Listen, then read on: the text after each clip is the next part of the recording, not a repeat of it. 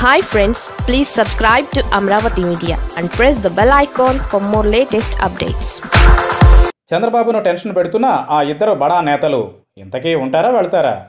TDP కంచుకోటగా ఉన్న అనంతపురం జిల్లాలో కేవలం ఒకే ఒక్క ఎన్నికల ఫలితం పార్టీని పార్టీ హవాను నాయకులను కూడా తలకిందులు చేసేసింది.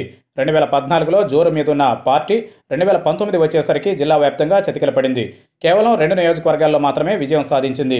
రెండు వేల పద్నాలుగు ఎన్నికల్లో కేవలం కదిరి ఉరవకొండలో మాత్రమే ఓడిన టీడీపీ రెండు వేల పంతొమ్మిదికి వచ్చేసరికి ఉరవకొండ హిందూపురంలో మాత్రమే గెలిచి అన్ని నియోజకవర్గాల్లోనూ ఓడింది. సరే ఎన్నికల్లో గెలుపు ఓటములు సహజమే కాబట్టి దీనిని లైట్గా తీసుకోవచ్చు. కానీ ఎందుకో ఇక్కడి నాయకులు అనూహ్యంగా టీడీపీని వీడడం ప్రారంభించారు.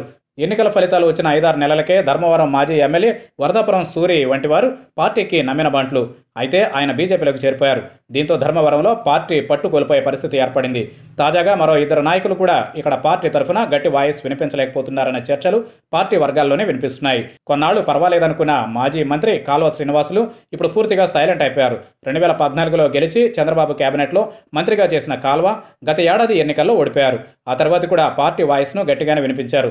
చంద్రబాబు ఇచ్చిన పిలుపు మేరకు జగన్ ప్రభుత్వంపై అనేక రూపాల్లో నిరసన వ్యక్తం చేశారు. జేసీ బ్రదర్స్ ఉన్నా కూడా వారిలో గతంలో ఉన్నంత దూకుడు లేదు. ఉరవకొండ నుంచి గెలిచిన పయ్యావుల కేసు ఉన్నా ఆయన జిల్లాలో ప్రభావం చూపించే పరిస్థితి లేదు. దీంతో కాల్వ గట్టి వాయిస్ వినిపిస్తున్నారనే భావన ఏర్పడింది.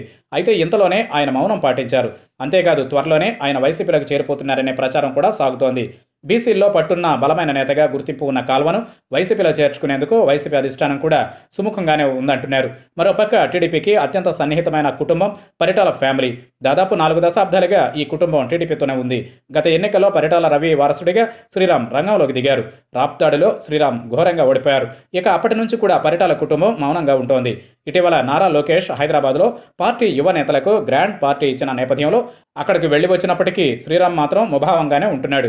దీంతో అసలు ఏం జరిగింది? ఏదైనా పార్టీలోకి మారాలని ప్రయత్నిస్తున్నారా? అనే కోణంలో చర్చ సాగుతుండడం గమనార్హం.